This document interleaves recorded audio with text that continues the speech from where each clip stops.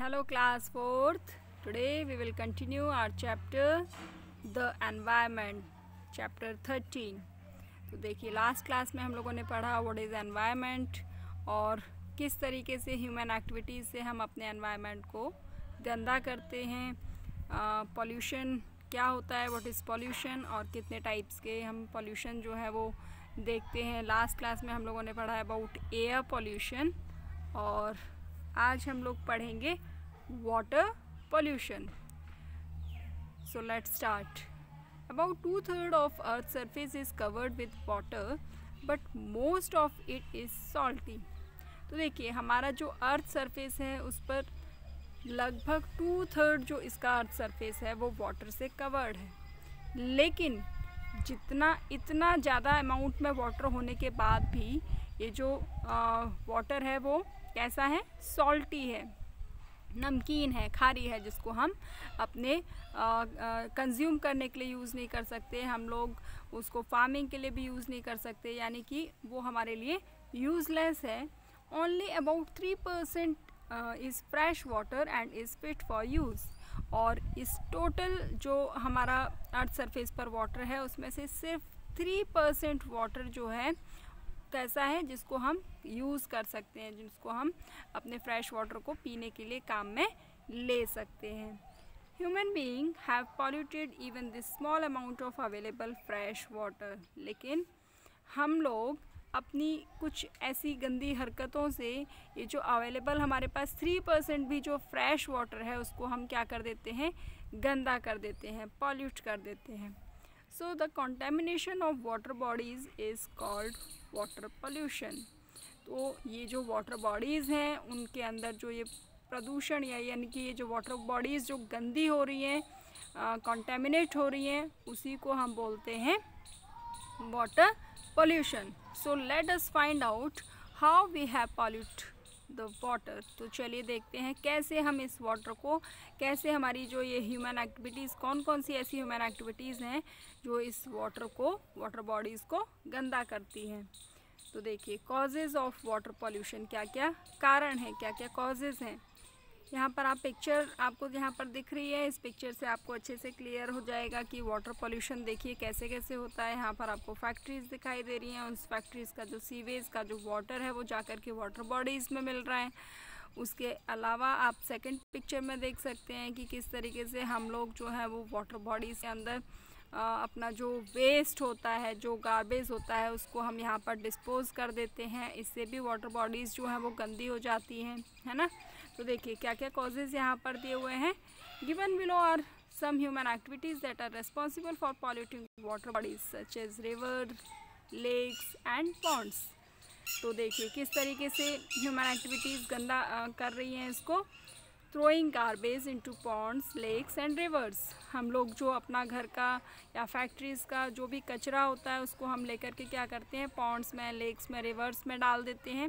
इससे water bodies जो हैं वो क्या हो जाती हैं? कॉन्टेमिनेट हो जाती हैं, गंदी हो जाती हैं। Releasing untreated industrial and domestic sewage directly into water bodies इसके अलावा जो फैक्ट्री से गंदा पानी निकलता है, जो सीवेज का पानी डोमेस्टिक सीवेज यानी नालियों का जो गंदा पानी निकलता है, उसको हम बिना उसको क्लियर किए हुए, साफ़ किए हुए उसको वाटर बॉडीज़ में छोड़ देते हैं, जिसकी वजह से क्या होता है? वो वाटर बॉडीज़ पॉल्यूट हो जाती हैं, गंदी हो जाती हैं। इसके अलावा taking bath washing clothes and cleaning cattle in ponds and rivers इसके अलावा आपने देखा होगा, कई बार आप अगर गाँव में जाते होंगे तो लोग जो हैं ये वाटर बॉडीज़ में, यानी कि रिवर्स में लेक्स में पॉन्ड्स में जो है उसके पानी को नहाने के लिए भी यूज़ करते हैं। तो हम लोग जैसे नहाते हैं वहाँ पर तो शैम्पू सोप्स जो उसके अंदर केमिकल्स होते हैं वो क्या होते हैं, उसको पानी को गंदा कर देते हैं। इसके अलावा हम अपने कपड़े भी वहाँ धोना स्टार्ट कर देते हैं, जिससे वो जो उसके केमिकल्स होते हैं वो पानी में मिल जाते हैं। इसके अलावा गाँव में लोग जो हैं, वो अपने कैटल्स को भी क्लीन करने के लिए पॉन्ड्स और रिवर्स को यूज़ करते हैं, जिससे ये वाटर बॉडीज़ गंदी हो जाती है, पानी गंदा हो जाता है, जिसको हम फिर कंज्यूम नहीं कर सकते। नेक्स्ट है water from agricultural land flowing into water bodies इसके अलावा जो एग्रीकल्चरल लैंड्स जो होती हैं, उनका जो वाटर होता है, वो भी जाकर के वाटर बॉडीज़ में मिल जाता है। क्योंकि हम अपनी फ़ार्मिंग में बहुत सारे पेस्टिसाइड्स का, बहुत सारे मैन्योर जो हैं, उनका यूज़ करते हैं। उसमें बहुत सारे केमिकल्स होते हैं। तो ये पानी जा कर के जब इन वाटर बॉडीज़ में मिल जाता है तो वो उसको क्या कर देता है? गंदा कर देता है पॉल्यूट कर देता है। इसके अलावा देखिए, ये तो हो गए हमारे क्या क्या कॉजेज़ हैं, जिसकी वजह से हम अपने जो हमारे पास फ्रेश अवेलेबल वाटर है, उसको हम गंदा कर देते हैं। अब क्या क्या इफ़ेक्ट होते हैं इस पॉल्यूटेड वाटर के? Effect of polluted water many harmful germs and insects grow in polluted water तो हमें ये तो पता है। आपने देखा भी होगा, अपने घर के आसपास जहाँ भी गंदा पानी जमा हो जाता है, वहाँ पर आप देखते हो डिफरेंट टाइप्स के इंसेक्ट्स जो हैं वो ग्रो होने शुरू हो जाते हैं। वहाँ पर आप मॉस्किटोज़ देखते हो हाउस हाउस फ्लाइज देखते हो, है ना? तो जर्म्स जो है वहाँ पर इंसेक्ट्स और जर्म्स जो है वो पैदा होने स्टार्ट स्टार्ट हो जाते हैं, जिसकी वजह से बहुत सारी बीमारियाँ जो हैं वो पैदा होती हैं। Like disease such as jaundice diarrhoea and typhoid are cause by drinking polluted water और जब हम ये गंदा पानी जो है उसको यूज़ करते हैं, पीने के लिए यूज़ करते हैं तो इससे बहुत सारी बीमारियाँ, जैसे कि जॉइंडिस हो गया, डायरिया हो गया, टाइफाइड हो गया, इस टाइप की बीमारियाँ जो है वो होती हैं। Polluted water also kill aquatic animals and plants इसके अलावा जो ये पॉल्यूटेड वाटर होता है वो एक्वेटिक यानी कि जो पानी में रहने वाले जो एनिमल्स हैं, पानी में रहने वाले जो प्लांट्स हैं, उसको भी काफ़ी ज़्यादा प्रभावित करता है और काफ़ी सारे एनिमल्स जो हैं वो उसे मर भी जाते हैं। अब स्टेप्स कैसे हम इसको दूर कर सकते हैं? ये जो हमारी प्रॉब्लम्स हैं, उसको हम कैसे शॉर्ट आउट कर सकते हैं? कैसे रिड्यूस करते हैं, कर सकते हैं हम वाटर पॉल्यूशन को? तो देखिए steps to reduce water pollution always use waste bin to dispose of garbage जैसे कि हम नदियों में और तालाबों में जो अपना घर का जो भी वेस्ट होता है, उसको हम तालाबों में वे डाल देते हैं डिस्पोज कर देते हैं। उसकी जगह पर हमें क्या करना चाहिए? हमें वेस्ट बिन्स यानी कि डस्ट बिन्स जो है, वो अपने घर में यूज़ करनी चाहिए कचरा डालने के लिए, ना कि हम उसे इधर उधर फेंक दें, ताकि उसको आप मैन्योर उसे बना सकते हो ऑर्गेनिक मैन्योर जो है, उसे बनाया जा सकता है, जिसको हम प्लांट्स में यूज़ कर सकते हैं है ना? नेक्स्ट हम क्या कर सकते हैं? Never throw garbage in and around water bodies हमें कभी भी जो आ, हमारा घर का जो वेस्ट जो गार्बेज जो है उसको हमें वाटर बॉडीज़ के आसपास या वाटर बॉडीज़ के अंदर कभी भी फेंकना नहीं चाहिए। Do not throw oil medicine and chemical down the drain हमें ये सारी चीज़ें जो हैं वो नालियों में नहीं फेंकनी चाहिए क्योंकि ये जा कर के वाटर बॉडीज़ में मिक्स हो जाती हैं। Do not over use fertilisers and pesticides इसके अलावा हमें अपने खेतों में बहुत ज़्यादा फर्टिलाइज़र्स और पेस्टिसाइड्स का यूज़ भी नहीं करना चाहिए। हमें ऑर्गेनिक मैन्योर्स को यूज़ करना चाहिए। Use organic manure instead and next हम कर सकते हैं sewage waste should be treated before it is release to into the water bodies तो हम अपनी जो सीवेज यानी कि जो नालियाँ हैं उसमें जो गंदा पानी जाता है उसको वाटर बॉडीज़ में मिक्स होने से पहले हमें चाहिए कि हम उसको मशीन्स के थ्रू उसको क्लियर कर लें उसके बाद ही उसे जा कर के वाटर बॉडीज़ में मिक्स हो उससे पहले वो मिक्स ना हो। नेक्स्ट हम कर सकते हैं कि आ, हम सेव कर सकते हैं वाटर को क्योंकि हमें पता है कि वाटर जो है वो बहुत ज़्यादा प्रीशियस है। इसकी इतनी ज़्यादा इम्पोर्टेंस है तो हम इसको किस तरीके से बचा सकते हैं? Water is precious it is essential for the survival और ऑल लाइफ देखिए वाटर बहुत ज़्यादा प्रीशियस है और सभी के जितने भी ह्यूमन बीइंग हैं, जितने भी लिविंग बीइंग हैं, उनके लाइफ के लिए सर्वाइवल के लिए बहुत ज़्यादा इंपॉर्टेंट है। ये तो हम सबको पता है, हम बिना पानी के बिल्कुल भी ज़िंदा रह सकते हैं क्या? नहीं रह सकते, है ना? So we must not waste it हमें इसको बिल्कुल भी वेस्ट नहीं करना चाहिए। We may take the following steps to conserve water तो देखिए, हम कुछ इस तरीके से कुछ फॉलोइंग यहाँ पर जो स्टेप्स दी हुई हैं, इनको फॉलो करते हुए हम इसको कंजर्व कर सकते हैं, इसको हम बचा सकते हैं। तो क्या क्या स्टेप्स हम फॉलो कर सकते हैं? Get leaking taps and pipes fixed तो हमारे अगर कोई टैप्स यानी कि नल जो है वो लीक कर रहे हैं, कोई पाइप में लीकेज है तो हम उसको उसको पूरी तरह से हमें ठीक कराना चाहिए, उसको ऐसे टपकते हुए नलों को नहीं छोड़ना चाहिए।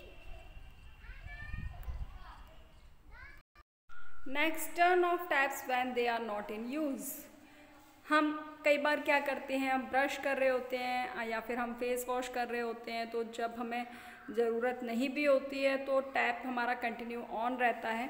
तो हमें टैप को साथ के साथ टर्न ऑफ़ कर देना चाहिए, बंद कर देना चाहिए, उसको यूज़लेस चला करके नहीं रखना चाहिए, है ना? अवॉइड शावर्स मतलब कई बार आपने देखा होगा नहाने के लिए बच्चे ज़्यादातर ऐसा करते हैं कि बाथरूम में जाते हैं और शावर चला करके उसके नीचे खड़े हो जाते हैं, जिससे काफ़ी सारा वाटर जो है वो वेस्ट होता है। तो हम क्या कर सकते हैं? Use a bucket and a mug to take bath यानी कि हमें नहाने के लिए बकेट और मग को यूज़ करना चाहिए। नेक्स्ट हम क्या कर सकते हैं? Don't use a hose to water plant और wash your car use a bucket तो हम कई बार आपने देखा होगा, अपनी कार को धोने के लिए एक बहुत बड़ा सा तो बड़ा सा पाइप हम जो है यूज़ करते हैं। आपने देखा होगा प्लास्टिक का जो बड़ा सा चौड़ा जिसका मुँह होता है उसको हम यूज़ करते हैं आ, कार को वॉश करने के लिए जिसमें बहुत सारा वाटर जो है हम वेस्ट कर देते हैं।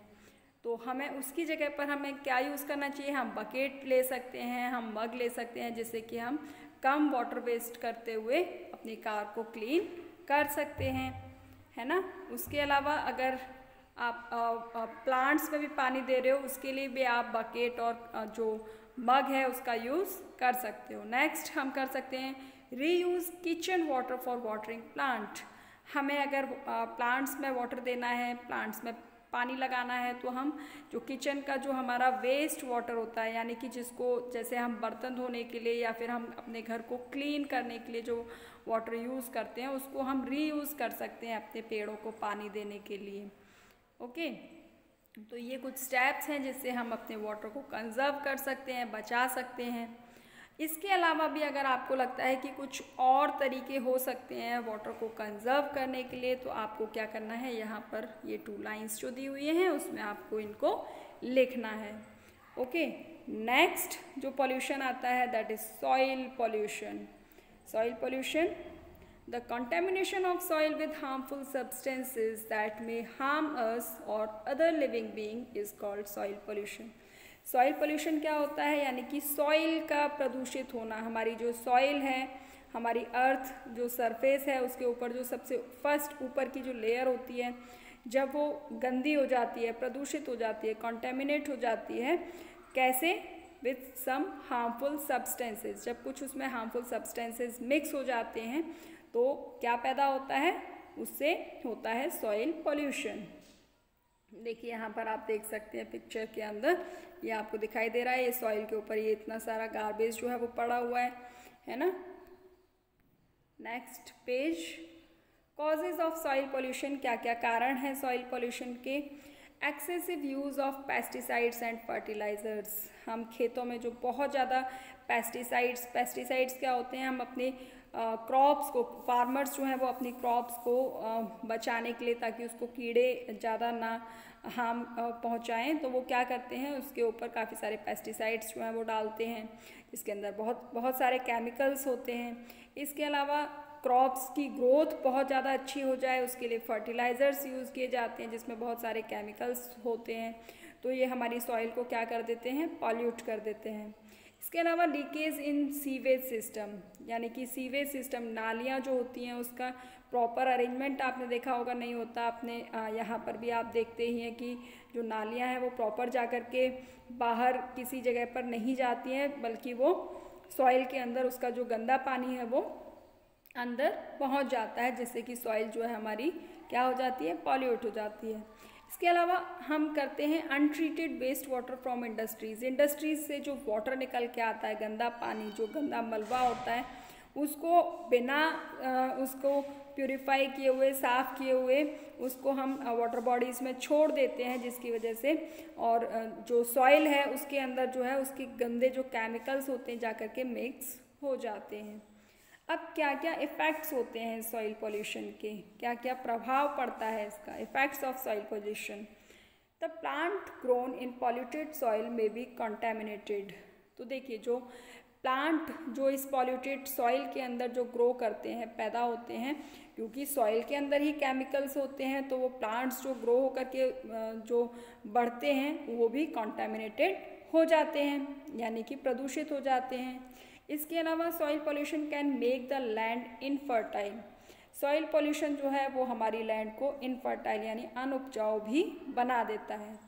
नेक्स्ट कॉन्टेमिनेंट्स इन सॉइल में infiltrate into ground water and pollute it तो जो कॉन्टेमिनेट कॉन्टेमिनेंट्स जो होते हैं, यानी कि ये जो प्रदूषित पदार्थ जो होते हैं हार्मफुल सब्सटेंसेस जो होते हैं, वो हमारे अंडरग्राउंड वाटर में जा कर के मिक्स हो जाते हैं, यानी कि हमारी जो अर्थ सरफेस है, उसके अंदर ये चले जाते हैं, जिससे कि हमारे अंडरग्राउंड वाटर को भी ये पॉल्यूट कर देते हैं, गंदा कर देते हैं।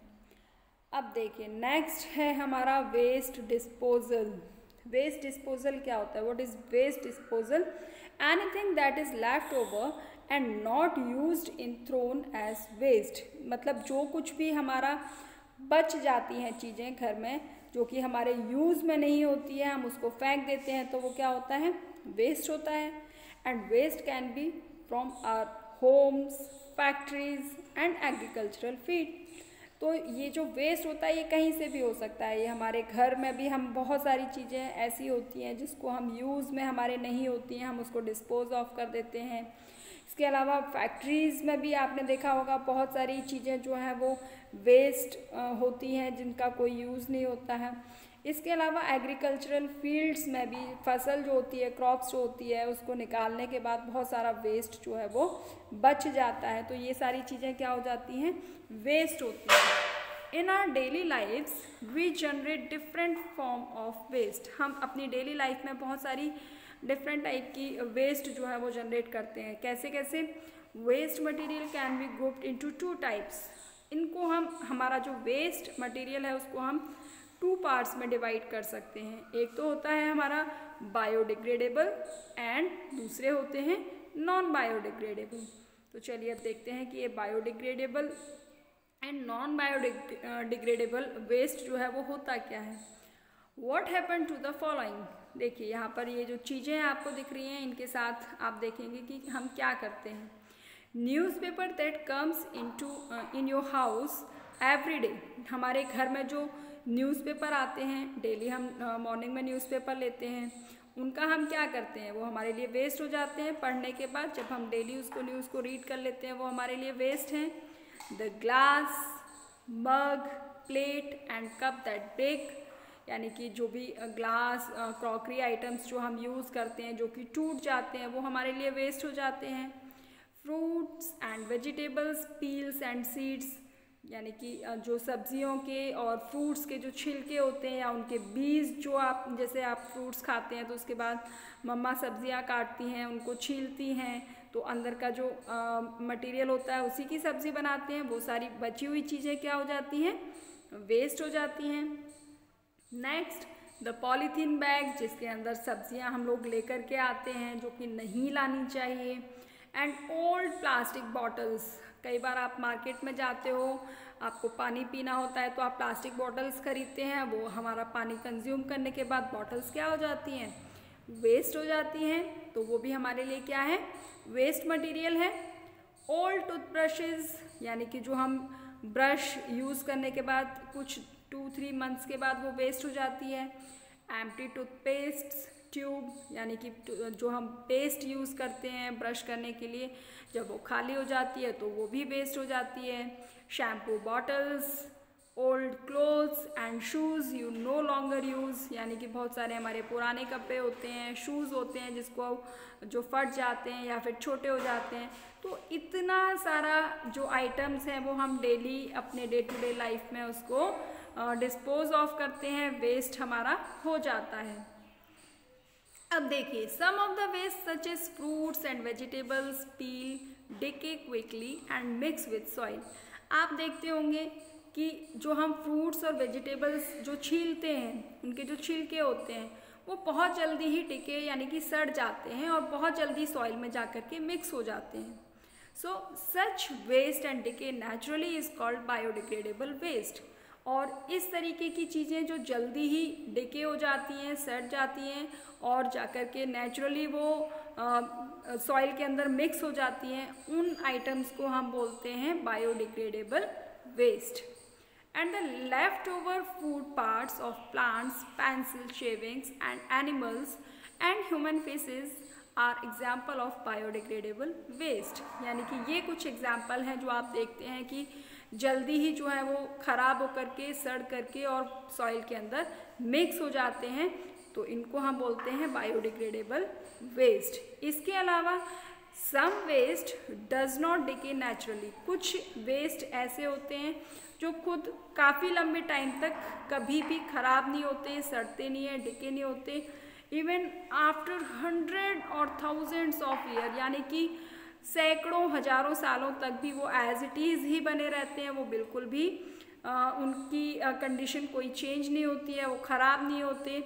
Such waste that does not decay naturally is called non biodegradable waste और इस टाइप के जो वेस्ट होते हैं जो नेचुरली डिके नहीं होते नेचुरली सड़ते नहीं हैं जाकर के सॉइल में मिक्स नहीं होते उनको हम बोलते हैं non biodegradable waste okay the waste created from plastic metals and glass are example of non biodegradable waste आप इस तरीके की रेगुलर यूज़ में बहुत सारी चीज़ें देखते हो। देखिए, यहाँ पर आपने देखा प्लास्टिक आप देखोगे प्लास्टिक पॉलीथीन्स या फिर आप जो भी बॉटल हम पानी पीते हैं, उस जो बॉटल बच जाती है, उसको आप काफ़ी लंबे टाइम तक अगर सॉइल के नीचे दबा करके रखोगे और फिर उसे निकालोगे तो आप देखोगे कि वो बॉटल जो है आपको काफ़ी लंबे टाइम बाद भी एज इट इज़ ही वापस मिलेगी। यानी कि वो उसके अंदर सॉइल के अंदर मिक्स आपको नहीं होगी। वो जैसी आप डालोगे, वैसी ही वो निकल करके बाहर आएगी।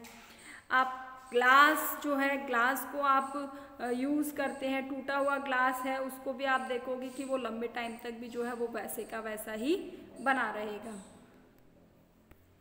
तो देखिए, यहाँ पर एक एक्टिविटी दी हुई है put some kitchen waste such as vegetables peels and dead leaves in a polythene bag आपको कुछ किचन का वेस्ट मटेरियल जो है, वो लेना है, जैसे कि सब्जियों के छिलके हो गए या फिर कुछ डेड लीव्स हो गई, यानी कि पेड़ों से जो सूख कर पत्तियाँ गिर जाती हैं, उनको आपको क्या करना है? कलेक्ट करना है और एक पॉलीथीन बैग में उसको डालना है और उसके बाद आपको क्या करना है? Put some pieces of glass plastic and metal in another bag और एक और बैग लेना है। उसके अंदर आपको कुछ ग्लास के पीसेस कुछ प्लास्टिक के पीसेस और कुछ मेटल जो है वो डालना है।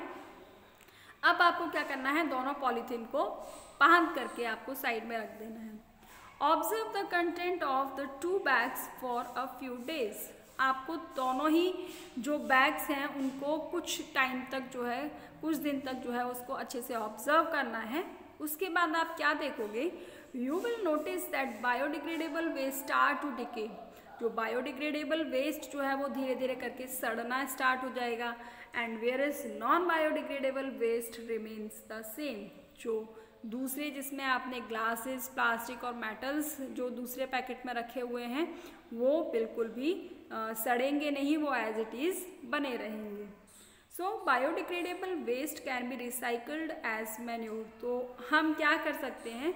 जो बायोडिग्रेडेबल वेस्ट जो है उसको हम रिसाइकल कर सकते हैं और उससे हम बहुत अच्छा सा खाद जो है तैयार कर सकते हैं, जिससे कि हम, जिसको हम अपने प्लांट्स के में यूज़ कर सकते हैं।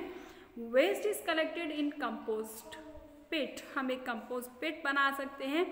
उसके अंदर हम ये सारा जो हमारा घर का किचन का जो वेस्ट होता है, यानी कि सब्जियों के छिलके हो गए फ्रूट्स के जो छिलके हो गए, उन सबको हम जो है इकट्ठा करके उस कंपोस्ट पिट के अंदर डाल सकते हैं।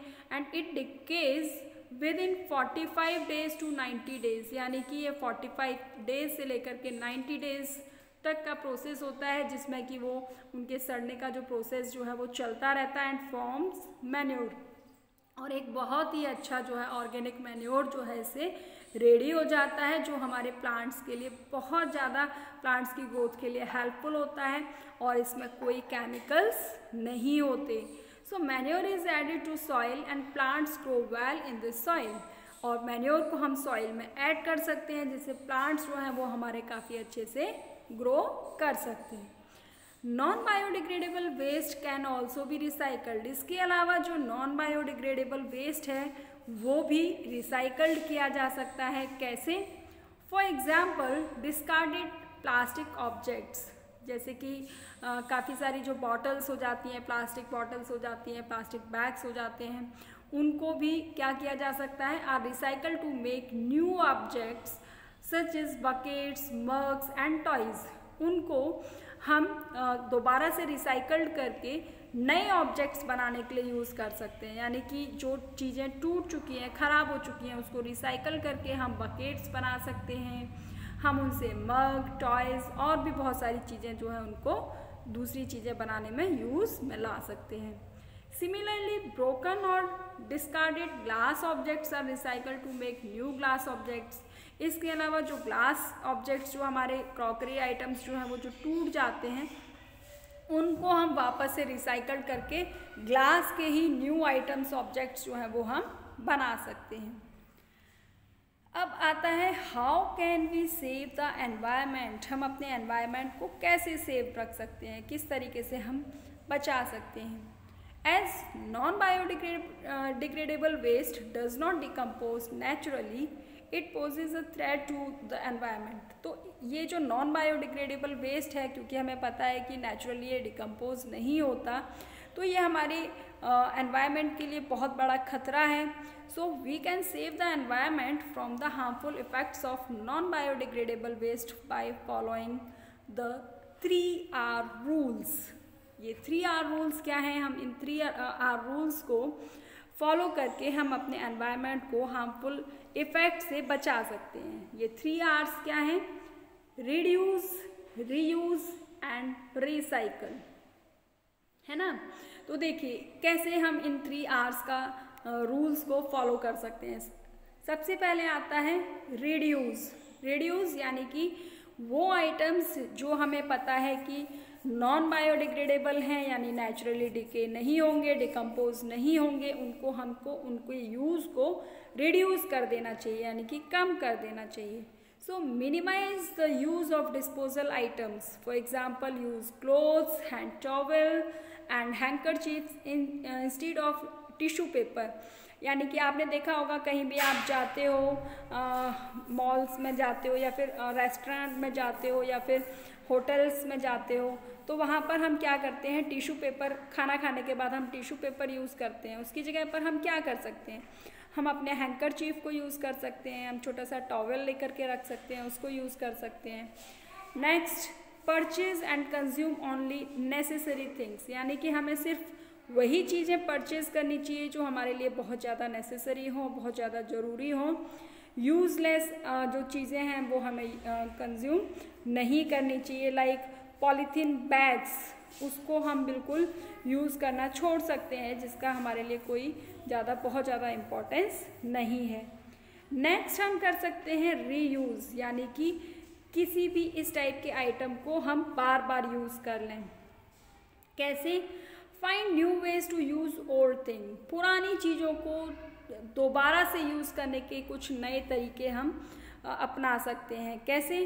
For example old text books can be given to to the library हमारी जो जैसे आप मान लीजिए कि सेवन्थ क्लास में हैं और सेवन्थ क्लास में जो आपने बुक्स पढ़ ली नेचुरली आपकी नेक्स्ट क्लास में वो बुक्स काम नहीं आएँगी।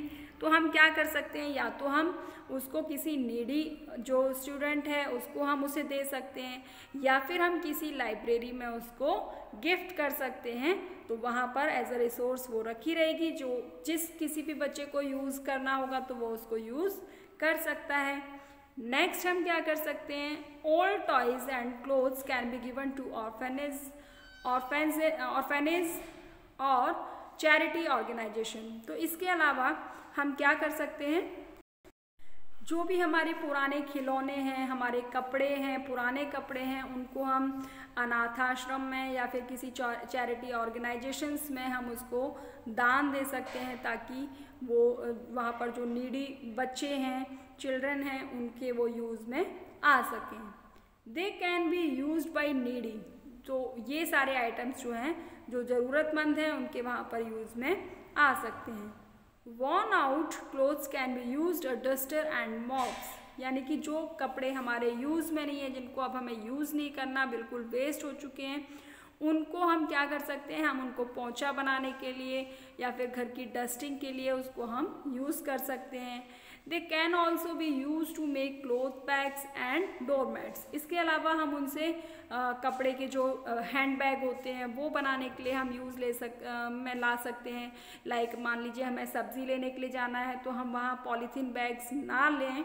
हम अपने हैंड बैग्स जो हैं वो लेकर के जा सकते हैं जो हम इन वेस्ट जो हमारे क्लोथ्स हैं उनसे बना सकते हैं। इसके अलावा जो डोर मैट्स होते हैं यानी कि घर के आगे हम पैर पहुँचने के लिए जो डोर मैट्स यूज़ करते हैं, वो भी हम इन पुराने कपड़ों से सिल करके उनको बना सकते हैं।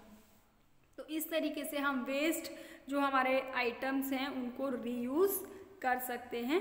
नेक्स्ट हम कर सकते हैं रिसाइकल रिसाइकल जैसे अभी हमने थोड़ी देर पहले ही पढ़ा। Some of the things that can not be reuse can be recycled अब कुछ चीज़ें ऐसी होती हैं जिसको हम रीयूज़ नहीं कर सकते। जिसका कोई और यूज़ नहीं है लाइक प्लास्टिक बॉटल्स हो गई, जैसे हमारे कुछ क्रॉकरी कप्स प्लेट्स जो टूट जाते हैं, उनको हम किसी और यूज़ में नहीं ले सकते। This can be done in this following ways अब हम इनको रिसाइकल कैसे कर सकते हैं? Old newspapers can be given to the crap dealer scrap dealer scrap dealer को हम उसको जो हमारे पुराने जो न्यूज़पेपर हैं ओल्ड न्यूज़पेपर जो हैं उसको हम स्क्रैप डीलर को दे सकते हैं। वहाँ पर ये आ, किया क्या जाता है इसका? The scrap dealer give all the collected papers to a paper mill. जो स्क्रैप डीलर होता है वो हमारे सारे जो न्यूज़पेपर होते हैं उनको कलेक्ट करता है और जाकर के पेपर मिल में दे देता है। जहाँ पर कि where it is recycle to make lower grade paper. वहाँ पर उनसे दोबारा से थोड़े से लोअर ग्रेड के पेपर्स जो हैं वो बना लिए जाते हैं जिनको हम वापस से यूज़ में ला सकते हैं। नेक्स्ट हम कर सकते हैं non biodegradable things such is broken glass और metal container can be recycle to make new things तो जो भी नॉन बायोडिग्रेडेबल चीज़ें हैं जिन जैसे कि आ, हमारे ब्रोकन ग्लास हो गए टूटे हुए ग्लास हो गए या मेटल का कोई कंटेनर हो गया जो टूट गया ख़राब हो गया उसको हम रिसाइकल करके उसी मेटल में या उसी ग्लास में दूसरी नई चीज़ें जो है वो बना सकते हैं। अब देखिए, अब आ जाता है और हम अपने एनवायरनमेंट को नीट एंड क्लीन और अच्छा बनाने के लिए क्या कर सकते हैं? हम ज़्यादा से ज़्यादा प्लांट्स जो हैं वो लगा सकते हैं। ट्रीज़ आर हेल्पफुल देखिए, हमारे एनवायरनमेंट को बहुत अच्छा बनाने के लिए ट्रीज़ जो है वो हमारे बेस्ट फ्रेंड हैं, जो हमारे एनवायरनमेंट को काफ़ी अच्छा बना सकते हैं। देखिए trees are our best friend trees जो है वो हमारे बेस्ट फ्रेंड हैं and they are useful to us in many ways ये हमारे लिए बहुत ज़्यादा यूज़फुल है कई सारी चीज़ों के लिए। Their roots hold the soil firmly and prevent it from getting washed away by rain and flood. तो हम देखो, हमने जोग्राफी में भी पढ़ा, हमारी जो ट्रीज़ हैं ट्रीज़ की जो रूट्स होती हैं, वो सॉइल को सॉइल की जो ऊपर वाली जो लेयर होती है, उसको होल्ड करने में बहुत ज़्यादा हेल्प करते हैं। जिससे कि जब बहुत ज़्यादा बारिश हो या बहुत तेज़ हवाएँ चलें तो ये जो सॉइल की अपर लेयर है, वो एक जगह से दूसरी जगह ना चली जाए। तो प्लांट्स जो हैं, वो इसके लिए काफ़ी हेल्प करते हैं। So they clean the air and release oxygen that we breathe in हमें पता है कि ये जो प्लांट्स होते हैं, ये एयर को क्लीन करते हैं प्योरीफाई करते हैं और ये ऑक्सीजन रिलीज़ करते हैं, जिसको हम ब्रीद इन करते हैं, हम सांस लेते हैं। If we really care for the environment we should save the forest and trees अगर हमें सचमुच में अपने एनवायरमेंट को केयर करनी है, उसको अच्छे से रखना है तो हमें ज़्यादा से ज़्यादा ट्रीज़ जो है वो लगाने चाहिए फॉरेस्ट को बचाना चाहिए। How to save our trees अब हम अपने ट्रीज़ को कैसे बचा सकते हैं? We should not cut trees हमें ट्रीज़ को बिल्कुल भी कट नहीं करना चाहिए। If we have to cut them for any reason we should plant more trees than we cut अगर हमें किसी भी रीज़न से अपने ट्रीज़ को प्लांट्स को कट करना भी पड़ रहा है, काटना पड़ रहा है, क्योंकि आपको पता है कि हम, हमारे बहुत सारे चीज़ें जो हैं ऐसी होती हैं जिसके बिना हम रह नहीं सकते तो हमें ट्रीज़ को, जो हमें ट्रीज़ से ही मिलती हैं तो हमें ट्रीज़ को काटना पड़ता है। लाइक हमें पढ़ने के लिए जो बुक्स मिलती हैं नोटबुक्स जो हमारी बनती हैं, वो सब कुछ हमें पता है कि पेपर से बनती हैं, और पेपर हमें कहाँ से मिलता है? ट्री से। और हम अपने घर में जो इतना सारा फर्नीचर यूज़ करते हैं, वो भी हमें कहाँ से मिलते हैं? ट्री से। तो हमें न चाहते हुए भी ये ट्रीज़ जो है वो कट करने पड़ते हैं। लेकिन अगर हमें ये ट्रीज़ कट करने पड़ रहे हैं तो हमें क्या चाहिए कि जितने ट्रीज़ हम काट रहे हैं, उससे ज़्यादा ट्रीज़ हमें प्लांट करने चाहिए, लगाने चाहिए, ताकि हम अपने एनवायरनमेंट को कैसा रख सकें? अच्छा रखें, रख सकें क्लीन रख सकें। नेक्स्ट हम देखिए paper is made from trees we should not waste paper क्योंकि हमें पता है कि हमारे पेपर जो हैं, वो ट्रीज से बनते हैं तो हमें पेपर को बिल्कुल यूज़लेस वेस्ट नहीं करना चाहिए। जितने की हमें ज़रूरत है, हमें उसको वही यूज़ करना चाहिए। And do not take and do not take print out unnecessarily और हमें बिना अगर हमें कोई ज़रूरत नहीं है अननेसेसरीली हमें जो प्रिंट आउट है वो नहीं निकालना चाहिए। ऐसा नहीं है कि आ, कुछ भी हमें ज़रूरत नहीं है और हम प्रिंट आउट जो है वो निकाले जा रहे हैं तो हमें पेपर जो है वो बिल्कुल भी वेस्ट नहीं करने चाहिए। In villages people use wood as fuel to make food गाँव में आपने देखा होगा खाना बनाने के लिए ज़्यादातर जो है वो आप देखते हैं कि अंगीठी या फिर चूल्हा जो है वो यूज़ किया जाता है। यानी कि ज़्यादा हम लोग लकड़ियाँ जो हैं जला करके और उस पर हम खाना जो है पकाते हैं। तो हम क्या कर सकते हैं? They should use other form of fuel such as liquified petroleum gas यानी कि एलपीजी या फिर एंड गोबर गैस, या फिर हम गोबर गैस जो है वो यूज़ कर सकते हैं। यानी कि हम इन जो फ्यूल के लिए हम लकड़ियों की जगह पर हम एलपीजी गैस का यूज़ कर सकते हैं, जिससे कि हम अपने प्लांट्स को ज़्यादा ना वेस्ट करें। तो ये था हमारा चैप्टर ये चैप्टर इज़ फिनिश्ड इसके साथ ही आपका साइंस का सिलेबस भी कंप्लीट हो गया है। अब आपको करना क्या है? आपको अच्छे से इस चैप्टर को रीड करना है और यहाँ पर आपको कॉजेज़ लिखने हैं सभी टाइप के पॉल्यूशंस के, उसके क्या क्या इफ़ेक्ट्स होते हैं और कैसे हम उसको शॉर्ट आउट कर सकते हैं कौन कौन से वेज़ हैं जिससे हम उसको कम कर सकते हैं। वो आपको अलग से डिटेल में पूरा लिखना है। ओके? तो नेक्स्ट क्लास में हम लोग करेंगे question answers of this chapter till then bye